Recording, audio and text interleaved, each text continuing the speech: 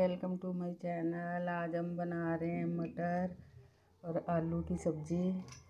ये हमने अदरक, लहसुन और प्याज का पेस्ट लिया है।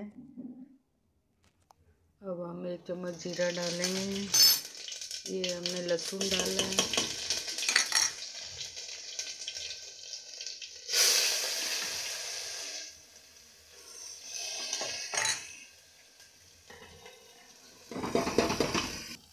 हमारा प्याज भून चुका है। अब हम इसमें थोड़ा गरम मसाला डालेंगे, थोड़ा हल्दी, आधा चम्मच हल्दी डालेंगे, आधा चम्मच हम नमक डालेंगे। एक कटोरी हम ये टमाटर डालेंगे।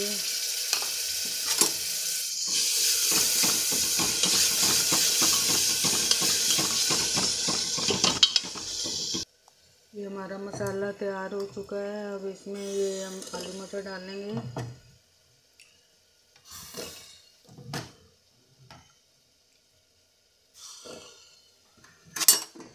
थोड़ा भूनेंगे हम इसको।